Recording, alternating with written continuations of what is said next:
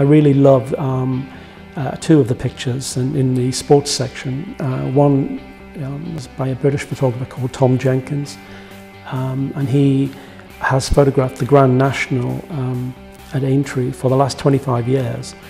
Um, and he's never caught a picture like this, as good as this. The other picture that is amazing is um, a shot of Usain Bolt um, in the semi-final of the 100 metres. You see him looking across and smiling at, at the other runners and it just absolutely nails Usain Bolt's sense of humour and uh, mischievousness. This wonderful um, sporting hero, um, it, it just nails it. It's a great picture.